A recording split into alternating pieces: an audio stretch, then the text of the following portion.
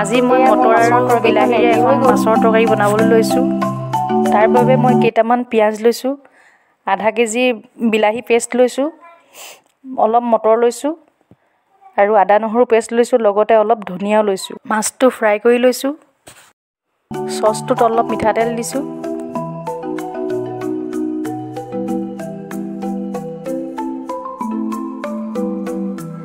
তেলখিনি গৰম হোৱাত কাটি থোৱা পিঁয়াজখিনি দি দিছোঁ। চচটো দেখি আপোনালোকে ভাবিছে সেইটো অলপ নাচাব আৰু।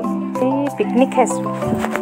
পিকনিকতে মাছৰ তৰকাৰীখন মোকে বনাবলৈ ক'লে কাৰণ বহুত দিন হ'ল মই ভিডিঅ' দিব পৰা নাই। ভাবিলোঁ তাকে তাৰে অলপমান দিওঁ আৰু আৰু আপোনালোককো দেখুৱাওঁ। পিঁয়াজখিনি ভাজি হোৱাত মই এচামুচ হালধি পাউডাৰ দিছোঁ।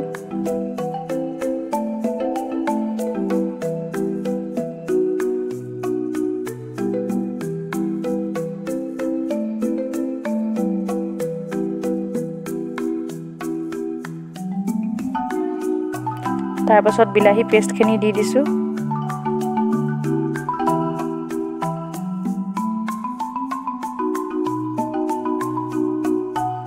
মই মটৰখিনিও দি দিছোঁ।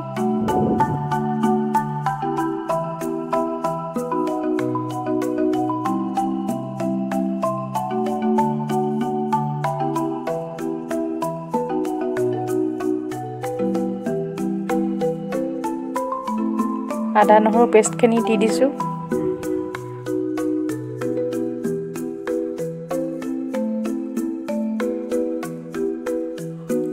অলপমান জলকীয়া গুড়ি দিছোঁ।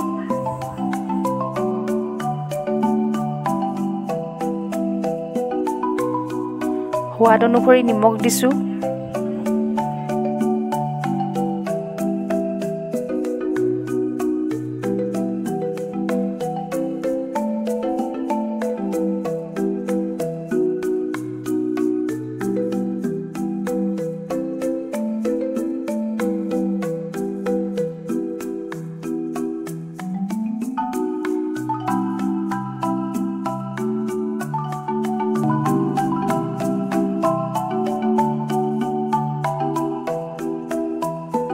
বিলাহী মটৰখিনি সিজাৰ পাছত মই মাছখিনি দি দিছোঁ।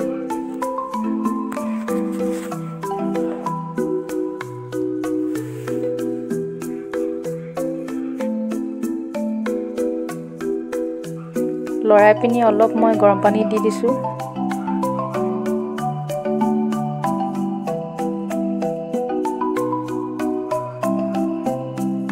প্ৰায় হ'লেই আৰু। এতিয়া অলপ উতলিবলৈ দি মই নমাই দিম।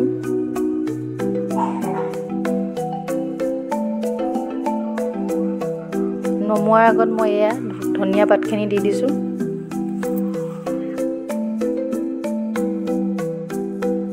যদি ভিডিঅ'টো ভাল লাগিলে লাইক শ্বেয়াৰ কমেণ্ট কৰিব লগতে ছাবস্ক্ৰাইবো কৰিব।